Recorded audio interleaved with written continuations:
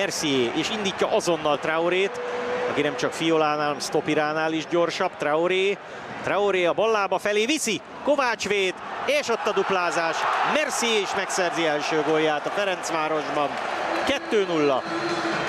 Az első gólnál egy kapufáról kipattanó labda, most a kapusról kipattanó az, amit a Ferencvárosiak vesznek előbb észre.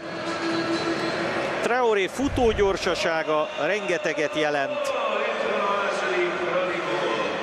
Az várható volt, 10-ből 9-szer ilyenkor átteszi a ballábára és lő.